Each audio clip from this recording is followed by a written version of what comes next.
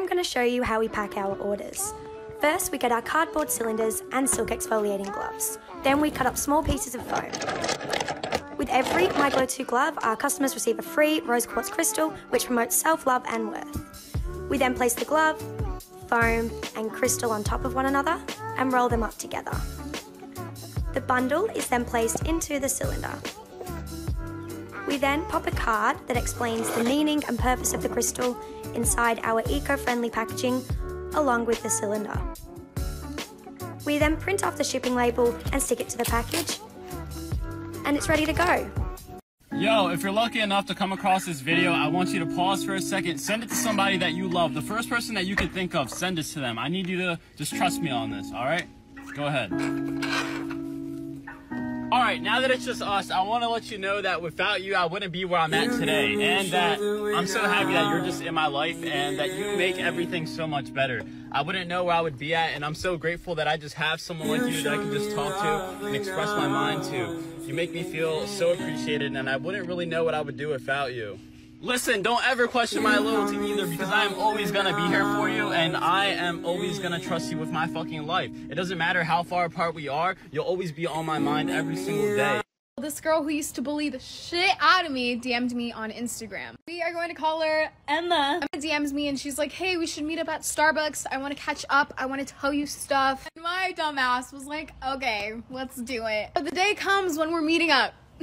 So obviously I took an Uber there. I was gonna be a little late, so I called Emma and I was like, hey, my Uber's taking long. Can you please get my drink so we can talk more and I'll pay you back? And so she said she would, so it was cool. I get to Starbucks. So me and Emma are drinking our drink and then I start feeling very sick to the point where I was fainting and throwing up really bad. So I went to the bathroom and this lady followed me into the bathroom and told me that the girl that I was with, Emma, put a pill in my drink and I was gonna go confront Emma about it and by the time I went back, she had ran away. So I end up calling an Uber to go home because I was not feeling well at all. Like I was dying. The Uber comes and guess who is in the I'm mad at y'all today. So the other day, someone commented on my TikTok and they were like, you should make a black candle.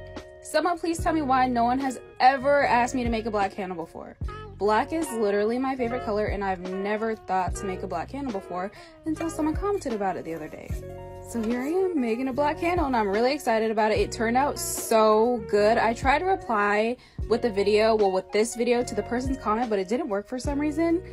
But it came out so, so good. So usually with soy wax, which is what I use, um, as it sets up, it kind of lightens in color. But as you guys will see, it did not today.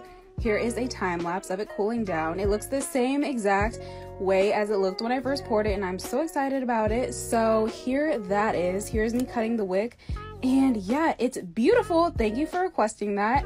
Uh, what do y'all think? So this is my brother's really old sweater. Story time about how my friend in high school tried to sell me to pedophiles. So I was 14, it was my freshman year, and me and this girl, let's call her Elizabeth, had been friends for about five years. Elizabeth kept bragging about this 17 year old boyfriend that went to a different school, and every weekend she would try to get me to come to the movies with them so I could meet him. But my parents were pretty strict, so most weekends they said no. But finally, one weekend they said yes. It was a Friday night, and Elizabeth wanted me to walk to the movie theaters to meet her. Um, my dad said no to that. He drove me instead, and he wanted to make sure that Elizabeth and the boyfriend were waiting outside so he could make sure I was there safely. And it's a good thing he did because when we pulled up, Elizabeth wasn't with the 17 year old boyfriend she had showed me.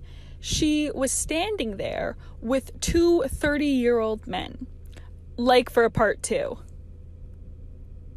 ashtray I've been working on. Um, the client wanted gold and red, so I kind of worked a little bit with what I had to make her a gold and red ashtray. Um, I haven't taken it out of the mold. This is my first time taking it out. I don't know how the design turned out because I can't really see. But let's see if I can take this off with on camera. Damn, this thing is hard. I'm gonna break it. Okay, give me one second. Okay, I think I got it to unstick like through all sides. Now I just have to pull it out, kinda. Why is this so hard? I don't have enough time. Come on. I'm gonna break a nail. If I break a nail, I'm gonna be so sad. Okay, hold on. Okay, so I got this much off of it. So let me just take off rest. But this, wow, is cute. Little red detail.